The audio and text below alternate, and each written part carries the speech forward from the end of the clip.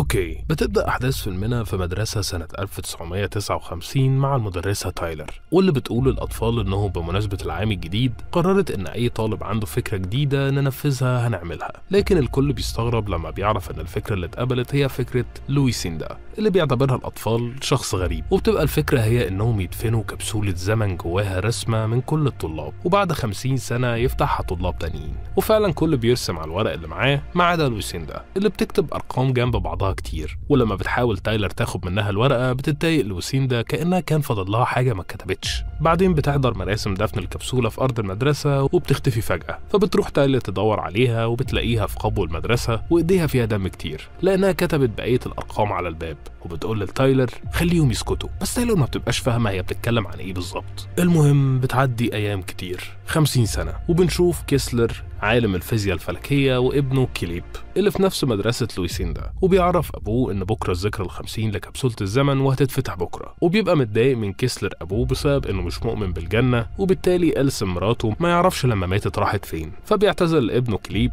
وبيقول له إن بس مش متأكد هي فين دلوقتي مش أكتر. وتاني يوم في معهد التكنولوجيا بيقف كيسلر عشان يشرح للطلاب بتوعه عن الشمس وبينسى نفسه في الكلام وبيفصح عن آرائه حوالين نشأة الكون وإن إزاي كل ده اتكون من ذرات؟ لأن كل حاجة بالمنطق فقط لا غير. لحد ما بيجيله العالم فيل صاحبه وبيقوله إن في واحدة معجب بيها ولازم يجي عشان يتعشى معاهم. لكن كيسلر بيفتكر ميعاد الحفلة بتاعت ابنه وبيجري بسرعة على المدرسة اللي بيطلعوا الكبسولة وبيفضلوا يوزعوا الورق اللي فيها بشكل عشوائي على الطلاب بحضور المدرسة تايلر الوحيدة اللي لسه عايشة من المدرسين اللي كانوا موجودين وقت نزول الكبسولة. وبيطلع لكليب ورقة لوسيندا اللي فيها أرقام غريبة. وفي البيت بيحس كليب إنه بيسمع أصوات في ودنه لكنه مش عارف جاية منين ولا بتقول إيه؟ وبيشوف كيسلر الورقة اللي خدها كليب وبيقول له إنه كان لازم يسيبها للمدرسة زي باقي الورق. وبعدها بيدخل كليب ينام وهو بيتفرج على فيديوهات لأمه. وبيقعد كيسلر يسكر وبيجيله فضول يجرب الأرقام دي وبيشوف إذا كانت تدل على حاجة. لكنه بيتفاجئ لما بيكتب أول كام رقم منها وبيبقى تاريخ لحاجة معينة.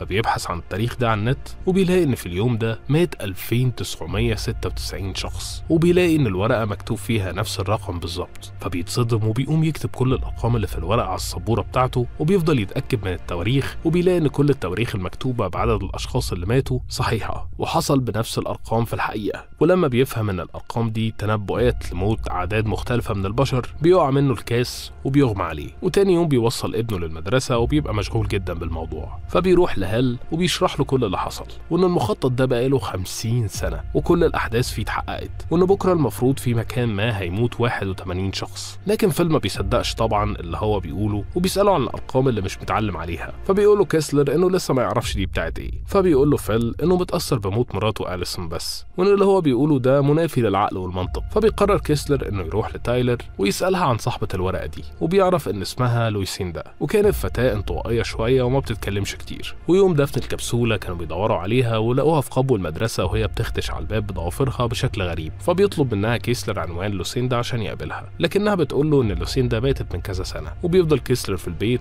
وهو مش فاهم إيه اللي بيحصل لحد ما بيشوف ابنه واقف مع عربية غريبة فبيجري عليه عشان يلاقي إن الراجل اللي في العربية اداله حجر أسود ومشي. وبعدين بتوصل جريس أخت كيسلر وبتعرض عليه إنها تاخد بالها من كليب شوية ويخرج هو ويتعامل مع الناس لأنه من ساعة موت مراته وهو ما بيخرجش ولا بيحتك بأي حد. لكن كيسلر بيرفض وبيطردها من البيت كالعادة وبيفضل قاعد طول اليوم قدام التلفزيون عشان يشوف الأخبار لحد ما بينام. وبيصحى تاني يوم على مكالمة من كليب اللي بيقول له أنت اتأخرت عليا فبيعتذر له وبيعرفه إنه هيجي في السكة عشان ياخده لكن الطريق بيبقى زحمة بسبب حادث معين وبياخد كيسلر باله إن إحداثيات المكان اللي هو فيه دلوقتي هي هي الأرقام اللي ما كانش متعلم عليها في الورقة. عشان يفهم إن الأرقام الباقية هي إحداثيات المكان اللي بتقع فيه حالات الموت. فبينزل عشان يشوف إيه اللي بيحصل وموقف الطريق. لكنه بيتفاجئ بطيارة بتغير اتجاهها وبتقع قدامهم. وبيروح يحاول ينقذ أي حد لكنه بيفشل. ولما بيروح بيسمع في التلفزيون إن اللي ماتوا في حادث النهاردة هم 81 شخص. فبيتصدم طبعا كيسلر وبيطلع يقعد مع نفسه لحد ما بيجيله فل اللي عارف اللي حصل. لكنه ما بيبقاش فاهم إزاي حاجة زي دي ممكنة أصلا. وبالليل بيشوف كليب الشخص اللي اداله الحجر قدامه وبيسمعه بيهمس في ودنه وبيشاور له على الشباك عشان يبص منه ويلاقي الدنيا كلها مولعة. فبيفضل يصرخ لحد ما بيجيله كيسلر وبيهديه. لكنه بيشوف الراجل ده من الشباك. فبينزل يجري وراه بالعصاية وبيقول له خليك بعيد عن ابني. وتاني يوم بيمشي ورا ديانا بنت لوسيندا الوحيدة وبيقعد بيقعد معاها وبيعرفها إنه عايز يتكلم معاها بخصوص أمها واللي كتبته زمان.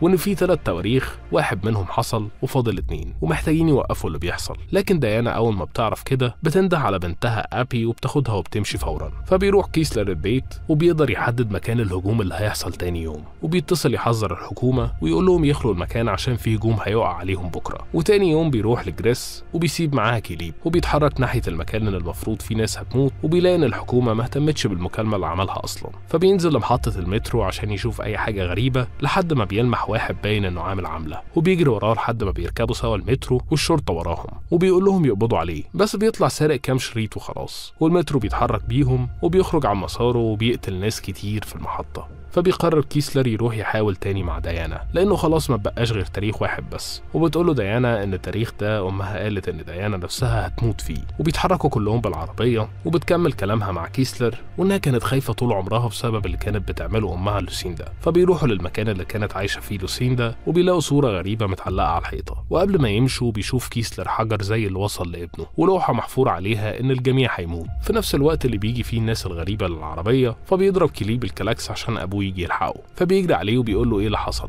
فبيعرفه كليب إنه بيسمع أصوات في دماغه وأبي نفس الكلام وإنهم بيعرضوا عليهم يجوا معاهم لو عايزين فبيقعد يتكلم مع ديانا ويقول لها إن آخر تاريخ ده هو تاريخ نهاية العالم كله وتاني يوم بيلاقي أبي بترسم الشمس على الصورة اللي كانت في بيت لوسيندا فبياخدهم كلهم وبيروح لمعهد التكنولوجيا وبيتكلم مع فل وبيفكره بالبحث اللي كان عامله زمان عن الشمس وإنها بالفعل دلوقتي بدأ يطلع منها إشعاعات غريبة بتقرب من الأرض بطريقة مخيفة وفي خلال كام ساعة الحكومة هتطلع تعلن عن ده لأن نهاية العالم خلاص على الابواب وبيطلب من فل يروح يقضي النهارده مع مراته وما يعملش أي حاجة تانية. فبتسمع ديانا الكلام ده وبتفضل تعيط وبتقول لكيسلر يستخبوا في أي كهف يحميهم من الإشعاعات دي وبيوافقها كيسلر عشان ما يزعلهاش رغم إنه عارف إن مفيش حاجة تمنع الإشعاع ده من إنه يقتل أي كائن حي على الأرض. وبيروح البيت عشان ياخدوا الحاجات اللي هيحتاجوها وبيتصل بأبوه لأول مرة من فترة كبيرة وبيقول له على اللي هيحصل وبيودعه وبيطلع عشان يشوف كليب فبيلاقيه بيكتب أرقام على ورقة ولما بياخد منه الورقة بيكمل على المكتب بتاعه وبيحفر بضوافره. فبيفتكر كيسلر اللي قالته تايلر وبيروح يقتحم المدرسة وبياخد الباب اللي خربشت عليه لوسيندا زمان وبيقول لديانا إن الكهف مش هيفيدهم بحاجة وإن الأحداثيات الأخيرة موجودة على الباب ده. لكن ديانا بتبقى خايفة وبتاخد كليب وآبي وبيمشوا بالعربية ولما بيطلع كيسلر بيلاقيهم مشيوا وبيجري يركب عربيته عشان يلحقهم. وبتقف ديانا في بنزينة وبتلاقي الحكومة بتطلع تحذير للناس إنهم يستخبوا في أي مكان تحت الأرض لأن في إشعاعات قوية جاية من الشمس. وبيتصل كليب بكيسلر وبتعرفه ديانا بمكانهم. وبتفضل تزعق معاه وهي خايفة. وفجأة بتبص على العربية بتلاقيها مش موجودة. فبتاخد عربية وبتفضل تنده على بنتها وهي بتصرخ. فبتخبط في تريلا كبيرة وبتتدمر على العربية تماما وبتموت. في الميعاد اللي قالت عليه لوسيندا زمان. وبيوصل كيسلر وبيشوف المسعفين وبيحاولوا ينعشوها لكن بتبقى خلاص ماتت. فبيجري على أحداثيات المكان اللي اتكتبت على الباب وفعلا بيلاقي الراجل الغريب واقف قدامه. وبيطلع كليب ومعاه أرنب هو وآبي. وبيعرفوا إن الراجل ده قال لهم إنهم يقدروا يجوا معاه ومش هيأذيهم ولا يعمل لهم حاجة. وإنهم بعتوا رسالة الأول عشان يمهدوا الطريق. وفجأة بيلاقي كيسلر السما بتتفتح وبينزل منها بوابة غريبة وبيقع على الأرض من هول المنظر اللي بيشوفه. لحد ما بيقومه ابنه عشان يركب معاه وإنهم هيبدأوا كل الحياة من تاني سوا وهنا بيفهم كيسلر اللي بيحصل لكن لما بيجي يركب معاه بيرفض واحد من الكائنات وبيهمس لكليب إن هو وآبي بس اللي ممكن يجوا معاهم. فبيوافق كيسلر عشان يحمي ابنه وبيقول له أنا دايما هفضل معاك وفي قلبك. وبيحضنه وبيسلمه للكائنات اللي بيبدأ يتحول شكلهم تدريجيا وبياخدوه هو وآبي وبيختفوا من المكان كله وبتتقفل البوابه اللي في السماء. فبيفضل كيسلر يعيط عشان مش هيشوف ابنه تاني وبيقع على الأرض. ويقوم بعد فترة والعالم كله بيبقى في حالة فوضى والإشعاع بيقرب أكتر وأكتر من الأرض عشان يدمرها. وبيشوف في طريقه فيل وهو حاضن مراته ومستنيين الموت سوا. فبيروح لبيت أبوه وأمه وجريس وبيحضنوا بعض كلهم لحد ما بيضرب الإشعاع على الأرض وبيدمر كل الكائنات الحية والمباني اللي موجودة عشان تبقى دي هي نهاية العالم. ودي كانت نهاية فيلمنا. كان معاكم على المايك رميح. السكريبت ده من كتابة يحيى السباعي. شكرا للمشاهدة. ما تنسوش تعملوا like و subscribe وتشوفوا الفيديوهات اللي فاتت وتستنوا الفيديوهات اللي جاية وسلام.